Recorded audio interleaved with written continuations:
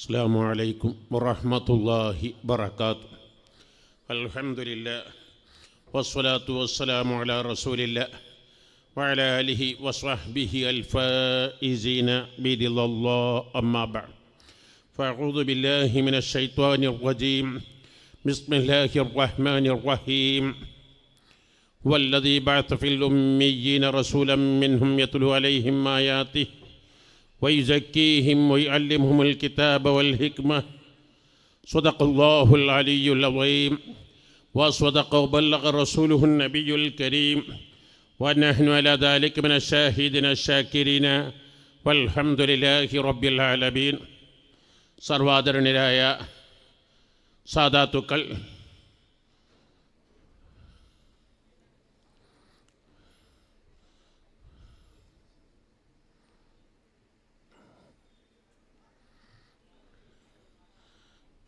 മഹാനായ സമസ്ത കല്ല ജമ്യത്തുലുമായുടെ അജയ്യനായ പ്രസിഡന്റ് റയീസുലുലമ ഷെയ്ഖുന സുലൈമാൻ ഉസ്താദ് ഹഫിള്ളഹുല്ലാ വറ നമ്മുടെ സദസ്സിലേക്ക് വരുന്നു. അള്ളാഹു അക്ബർ അള്ളാഹു അക്ബർ അള്ളാഹു അക്ബർ. ലാ ഇലാഹ ഇല്ലല്ലാഹു അല്ലാഹു അക്ബർ. അള്ളാഹു അക്ബർ വലില്ലാഹിൽ ഹംദ് ആധികാരിക പണ്ഡിത സഭ സമസ്ത കേരള ജമീയത്തുലമയുടെ അനുശേഷയായ അധ്യക്ഷർ റബീസുലമ സുലൈമാൻ ഉസ്താദ് അവർ ഹാദിസയുടെ സമ്മേളന വേദിയിലേക്ക് മഹാനായ സയ്യിദ് അലി ബാഫക്കി തങ്ങൾ ഹഫിള്ളഹുല്ലാ വറ സുൽത്താനുലമ ഇന്ത്യൻ ഗ്രാൻഡ് മുഫ്തി പകരക്കാനില്ലാത്ത പണ്ഡിത നേതൃത്വം സുൽത്താൻ മക്കാന്തപുരം മുസ്താദ് സമസ്ത കേരള ജമിയത്തുമായിട്ട് അജയ്യനായ പ്രസിഡന്റ് റയീസുലമ സുലൈമാൻ ഉസ്താദ് സമസ്ത സെക്രട്ടറി പേരോട് ഉസ്താദ് മറ്റ് സാധാത്തുക്കൾ ഉലമാക്കൾ പ്രാസ്ഥാനിക നായകർ മഹാനായ സമസ്ത കലജ്മ്യത്തുലമായുടെ പ്രസിഡന്റുമാരിൽ ഉന്നതരും ധാരാളം പണ്ഡിതന്മാരുടെ വിശിഷ്യ തെക്കൻ കേരളത്തിലുള്ള ഒട്ടുമിക്ക പണ്ഡിതന്മാരുടെയും ഗുരുവര്യരുമായ സിറാജുലുലമ ഹൈദർ സുസ്താദ് ഹഫിള്ള വറ പൂർണ ആരോഗ്യമുള്ള ദീർഘായുസ് നൽകണേ അവരുടെ നേതൃത്വത്തിൽ ഇരുപത്തെട്ട് വർഷം മുമ്പ് പ്രിയപ്പെട്ട പണ്ഡിത പ്രതിഭകളിൽ യുവ വാഗ്മികളിൽ മഹൽ വ്യക്തിത്വം ഡോക്ടർ മുഹമ്മദ് കുഞ്ഞ് സഖാഫി അശാന്ത പരിശ്രമത്തിലൂടെ പടുത്തുയർത്തപ്പെട്ട കാദിസിയ എന്ന് പറയുന്ന മഹത്തായ സ്ഥാപനം ഇരുപത്തിയെട്ട് വർഷങ്ങളെ കൊണ്ട് പടർന്നു പന്തരിച്ച് ധാരാളം മുലമാക്കളെ സമൂഹത്തിന് സമർപ്പിക്കാൻ ഭൗതിക മേഖലയിൽ ധാരാളം വിദ്യാസമ്പന്നരെ സമൂഹത്തിന് സമർപ്പിക്കാൻ കഴിഞ്ഞു. ഒട്ടനവധി വിദ്യാഭ്യാസ സ്ഥാപനങ്ങൾ ഈ ജില്ലയിലും പരിസര സ്ഥാപനങ്ങളിലും നടത്തി വരുന്ന മഹത്തായൊരു പ്രസ്ഥാനമാണ് കാദിസിയ എന്ന് പറയുന്നത്. ഇന്ന് ലോകത്ത് ധാരാളം സംവിധാനങ്ങൾ വിദ്യാഭ്യാസ മേഖലയിൽ കോളേജുകളും യൂണിവേഴ്സിറ്റികളും സ്കൂളുകളും ഹൈസ്കൂളുകളും ഹയർ സെക്കൻഡറികളും ധാരാളം കാണുന്നു. പക്ഷേ വിദ്യാഭ്യാസത്തിന്റെ യഥാർത്ഥ ലക്ഷ്യം സാക്ഷാത്കരിക്കാൻ എത്രമാത്രം സാധിച്ചിട്ടുണ്ട് എന്നത് മീഡിയകളിലൂടെ നിങ്ങൾ അറിയിക്കുമല്ലോ. വിശിഷ്യ വളരെ വളരെ മാരകമായ വിപത്തുകൾ മനുഷ്യന്റെ ജീവനും ബുദ്ധിയും കുടുംബവും സർവസ്വം നശിപ്പിക്കുന്ന ലഹരി വസ്തുക്കൾക്കാണ് ഇന്ന് ഏറ്റവും ഡിമാൻഡുള്ളത്. ഏറ്റവും കൂടുതൽ ഉപയോഗിക്കുന്നത് നമ്മുടെ ബൗദ്ധിക കലാലയങ്ങളിലാണ്. എന്നത് ഏറെ ചിന്തിക്കുന്ന വസ്തുതയല്ലേ? മുമ്പത്തെ പോലെ ദുർഗന്ധങ്ങൾ അതിനില്ല. പുതിയ പുതിയ പല പേരുകളുമാണ്. സ്റ്റിക്കറാണ് സ്റ്റാമ്പാണ് മിഠായികളാണ് ടാബ്ലറ്റുകളാണ്. രക്ഷിതാക്കൾക്കോ അധ്യാപിക അധ്യാപകന്മാർക്കോ തിരിച്ചറിയാൻ പറ്റാത്ത രൂപത്തിൽ അതോ ഏതെങ്കിലും അല്പമുണ്ടെങ്കിൽ ഇരുപത് വർ പത്ത് ഗ്രാം കൈവശം വെച്ചാൽ ഇരുപത് കൊല്ലം കഠിന തടവിന് വിധേയനാകേണ്ടി വരുന്ന മൂന്ന് കൊല്ലം ഉപയോഗിച്ചാൽ മരിക്കുമെന്ന് ഉറപ്പുള്ള അത്രയും വലിയ മാരകമായ വിഷങ്ങളാണ് ലഹരികളാണ് ഇന്ന് നമ്മുടെ കുട്ടികളുടെ കൈവശങ്ങളിൽ എത്തിപ്പെടുന്നത് എന്ന് എല്ലാവരും ചിന്തിക്കേണ്ടതാണ്. നമ്മുടെ കലാലയങ്ങളുടെ ലക്ഷ്യങ്ങൾ സാക്ഷാത്കരിക്കപ്പെടുന്നുവെങ്കിൽ നമ്മുടെ കലാലയങ്ങളുടെ ലക്ഷ്യങ്ങൾ കേവലം സർട്ടിഫിക്കറ്റുകൾ വാങ്ങിക്കൊടുക്കലല്ല. ജോലി നേടിക്കൊടുക്കലല്ല. ഉന്നത സ്ഥാനങ്ങളിൽ എത്തിച്ചേരലല്ല. ഒരു മനുഷ്യന്റെ ജീവനും ബുദ്ധിക്കും കുടുംബത്തിനും സ്വത്തിനും രക്ഷ നൽകലാണ് മനുഷ്യനായി ജീവിക്കലാണ്. യഥാർത്ഥ വിദ്യാഭ്യാസമെങ്കിൽ ഇന്നത്തെ യൂണിവേഴ്സിറ്റികളുടെ ഇന്നത്തെ ഭൗതിക കലാലയങ്ങളുടെ നിലവാരങ്ങൾ പരിശോധിക്കുമ്പോൾ റാങ്ക് ജേതാക്കളുടെ ജീവിത നിലവാരം പരിശോധിക്കുമ്പോൾ കിട്ടുന്ന റിസൾട്ട് എന്താണ്? ഇവിടെയാണ് നിങ്ങൾ അഷ്റഫുൽ ഹൽക്ക് അലൈഹി വസല്ലം തങ്ങളിലേക്ക് ശ്രദ്ധ തിരിക്കേണ്ടത്. അഷ്റഫുൽ ഹൽക്ക് അലൈഹി വസല്ലം തങ്ങൾ ഈ ലോകത്തേക്ക് പൂജാതരായി വരുമ്പോൾ അവിടുത്തെ ശിഷ്യന്മാർ ഇന്നത്തെ കെ ജി യു കെ ജിയിലെ കുട്ടികളെപ്പോലെ സ്ഫടിക സ്ഫടിക സമാന മനസ്കരായിരുന്നില്ല. മറിച്ച് ഖുർആൻ പറയുന്നു "ഹുവല്ലദീ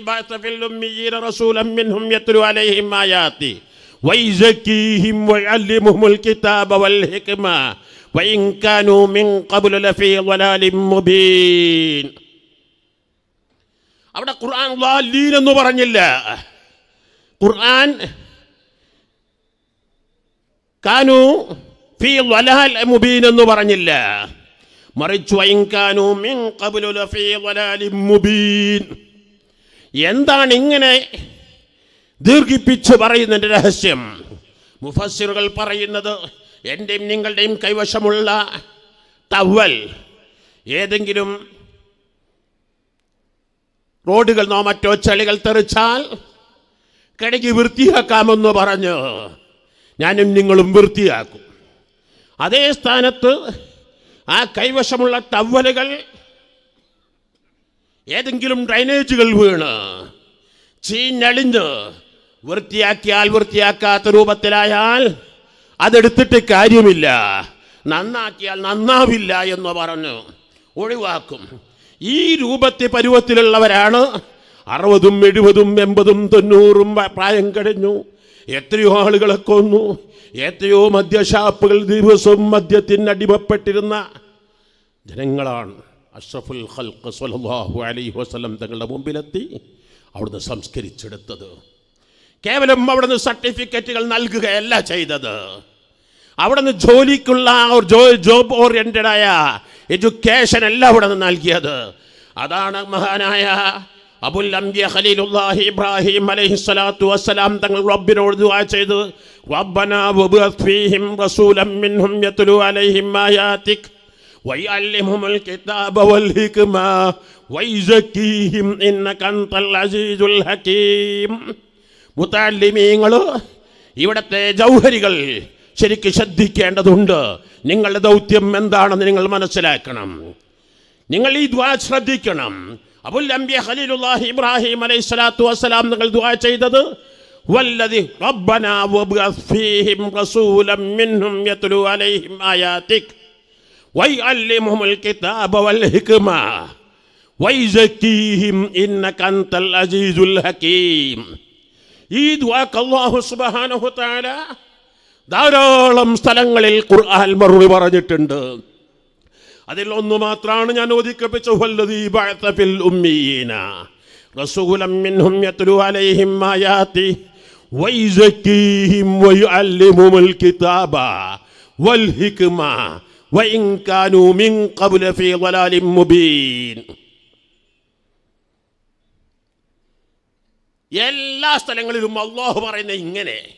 ഇബ്രാഹിം നബി പറഞ്ഞത് അങ്ങനെ എന്താ വ്യത്യാസം ഇബ്രാഹിം നബി പറഞ്ഞിരുന്നത് والذي بعث في الأميين رسولا من ربنا وبعث فيهم رسولا منهم يتلو عليهم آياتك ويعلمهم الكتاب والحكمة ويزكيهم എന്നാണ് പറഞ്ഞത് തസ്കിയത്ത് അവസാന പറയുന്നത് അള്ളാഹു പറയുന്നത് والذي بعث في الأميين رسولا منهم يتلو عليهم آياته ويزكيهم വൈ മുഹമ്മൽ കിതാബ് വല്ലിക്കുമ ഇതാണ് അഷ്റഫുൽ ഹൽക്ക് സല്ലല്ലാഹു അലൈഹി വസല്ലം തങ്ങളുടെ എഡ്യൂക്കേഷൻ തിയറി.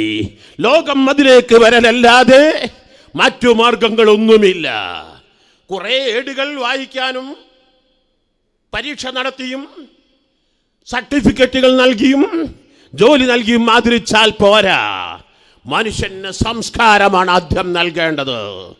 എത്രത്തോളമാണ് സഫൽ അലൈഹി വസല്ലം സംസ്കരിച്ചെടുത്തത്?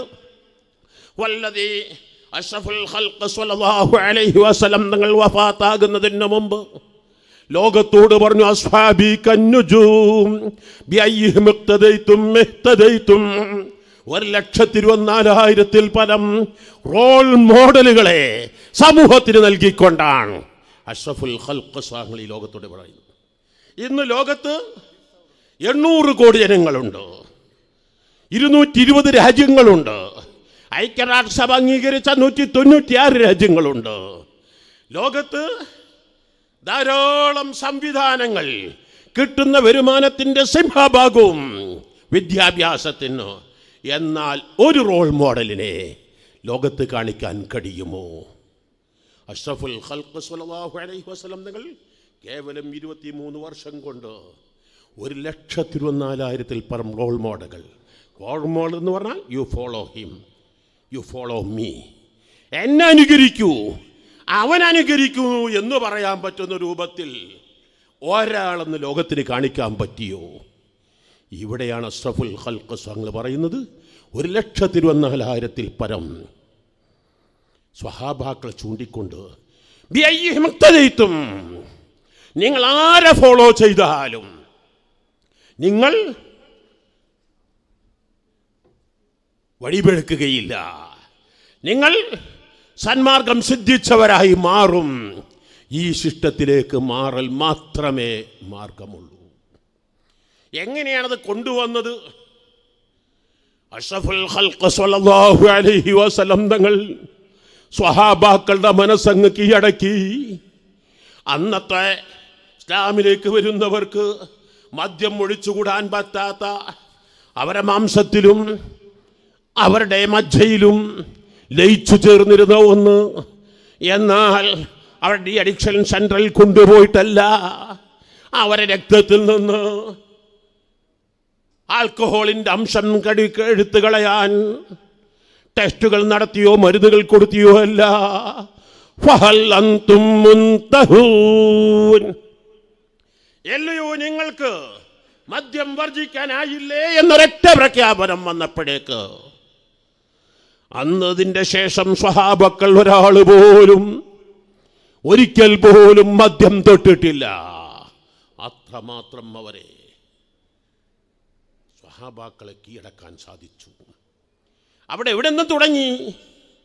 ഞാൻ ഒറ്റ എക്സാമ്പിൾ പറയുന്നു. എല്ലാ ഹദീസ് കിതാബുകളും ഒട്ടുമിക്ക ഹദീസ് കിതാബുകളും കേൾക്കാം.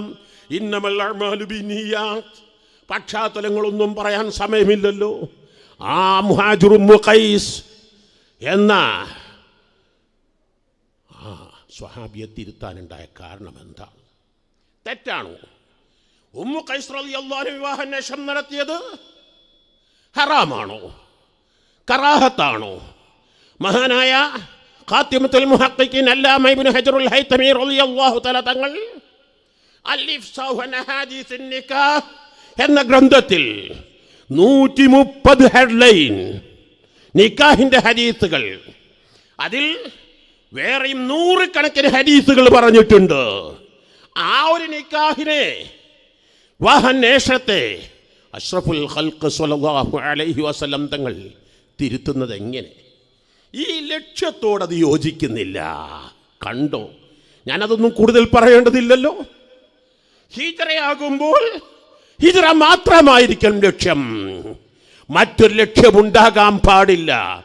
അത്രമാത്രം അലൈഹി വസല്ലം തങ്ങൾ സ്വഹാബത്തിനെ സംസ്കരിച്ചെടുക്കുമ്പോൾ ഇന്ന് നടക്കുന്ന അവസ്ഥകൾ എന്ത്? ഞാനൊറ്റ സംഭവം പറഞ്ഞ് അവസാനിപ്പിക്കട്ടെ. ഇന്ന് ലോകത്തെ വിശിഷ്യ ഇന്ത്യയിലെ കാലാവസ്ഥാ നിരീക്ഷകരൊക്കെയും പ്രവാചകൻ എന്ന് പറഞ്ഞു വാനോളം പുകയ്ത്തുന്ന വലിയ വ്യക്തിത്വമല്ലേ? മാധവ് ഗാഡ്ഗിൽ. പ്രിയപ്പെട്ട എസ് എസ് എഫിന്റെ പ്രവർത്തകർ നിസാലയിൽ മാധവ് ഗാഡ്ഗിലിനെ കുറിച്ച് എഴുതി വായിക്കണം. അദ്ദേഹത്തെക്കുറിച്ച് രണ്ടു മാസം മുമ്പ് കേരളത്തിലെ പ്രമുഖ ജേണൽ ഒരു ഇന്റർവ്യൂ നടത്തിയിരുന്നു. മാധവ് ജേണൽ എന്താണ്? കേന്ദ്ര ഗവൺമെന്റിന് നൽകിയ റിപ്പോർട്ടിൽ രണ്ടായിരത്തി പതിനെട്ടിലും പത്തൊമ്പതിലും നടന്ന എല്ലാ ജലപ്രളയങ്ങളും എല്ലാ മണ്ണിടിച്ചിലും എല്ലാ കാലാവസ്ഥാ വ്യതിയാനവും നേരത്തെ നൽകിയ റിപ്പോർട്ടിലില്ലേ? അദ്ദേഹത്തോട് ഇന്റർവ്യൂയിലുണ്ട് നിങ്ങളൊരു മതവിശ്വാസിയാണോ? അദ്ദേഹം പറഞ്ഞ മറുപടി ഒട്ടും ഞാൻ മതവിശ്വാസിയല്ല. എന്താണ് അദ്ദേഹത്തിന് മതത്തോട് വന്ന നീരസം? അദ്ദേഹം തന്നെ പറയുന്നു പന്ത്രണ്ടാമത്തെ വയസ്സിൽ കുട്ടിക്കാലങ്ങളിൽ അദ്ദേഹം മലകളിൽ ജനിച്ചു വളർന്ന് മലകൾ കുറിച്ച് പഠിച്ച് പഠിച്ചു പഠിച്ച് മതം മലകളുടെ കാവൽക്കാരൻ. ഖുർആൻ എല്ലാ വെള്ളിയാഴ്ചയും ജുമുഴക്കും അതുപോലെ തന്നെ പലപ്പോഴും സുബഹിക്കും.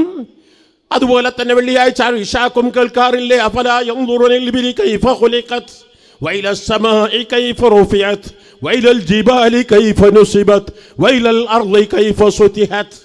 പർവതങ്ങളെ കുറിച്ചൊക്കെ മനുഷ്യർ പഠിക്കേണ്ടതുണ്ട്.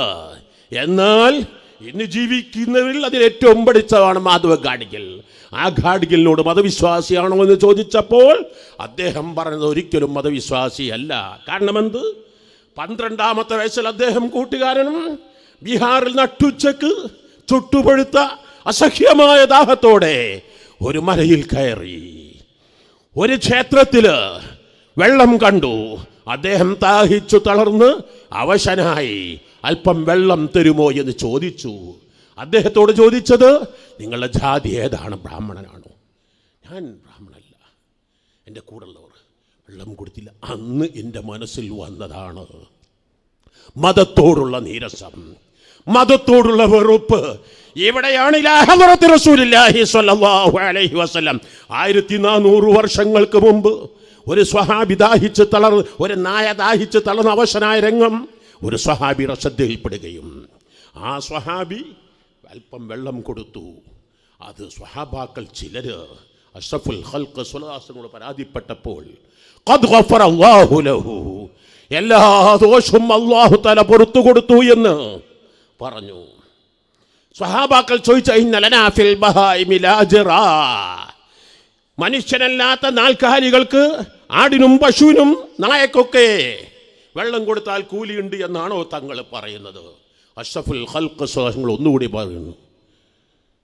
അലാഫി കുല്ലി കബിദിൻ റത്ബത്തിൻ പച്ച ഹൃദയമുള്ള എല്ലാറ്റിനും കൂലിയുണ്ട്.